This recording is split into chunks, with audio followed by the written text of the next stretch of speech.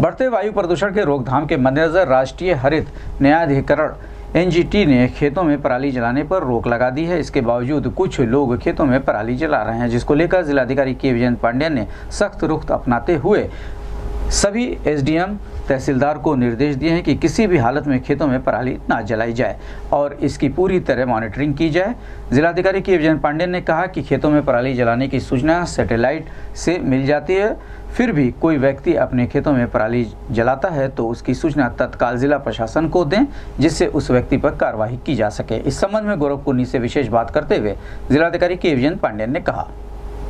हाँ देखिए, एनजीटी ने पराली के लेके काफ़ी सख्त है। खासतौर पे पराली का जलाते हैं, उसी से वायु प्रदूषण हो जाता है।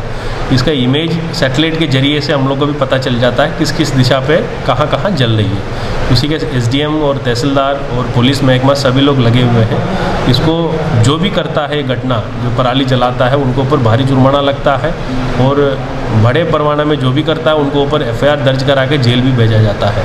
ताकि ये प्रदूषण संबंधित मामला है एंड इस समय में जो भी जाड़े में जो कितने जलता है, वो सारे इकट्ठा होकर के तो आदमी को भी, लोग को भी बहुत हानि करता है। खासतौर पे जो किसका सांस लेने में परेशानी होता है, वो काफ़ी परेशान हो जाता है। अब जानते हैं, पहले से हम लोग कोविड से लड़ रहे हैं और साथ साथ ये भी जो पराली का जो प्रदूषण होता है वो भी जुड़ जाता है। हमारे लिए काफ़ी मुश्किल हो जाता है लड़ना। आ, मैं आपसे चाहता हूँ कहीं से भी ऐसे घटना कहीं रिपोर्ट हो तो तुरंत हमें कंट्रोल रूम में और हमारा नंबर में कोई भी ऑफिसर नंबर में सूचित करा दीजिए ताकि हम तुरंत जा करके बुझाएँगे और साथ साथ जो घटना किए हैं उनको ऊपर कार्रवाई भी की